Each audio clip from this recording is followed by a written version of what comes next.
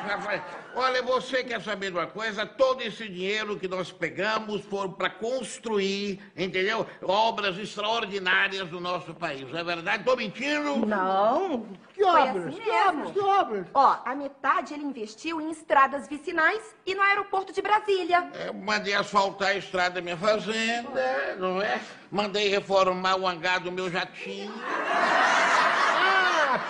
Na sua fazenda. É, e a outra metade o deputado investiu em transporte. Transporte, transporte, transporte, transporte, bem, transporte, transporte, transporte, é verdade. transporte, transporte. Transporte de quê, deputado? Eu dei um carro zero para cada um da minha família.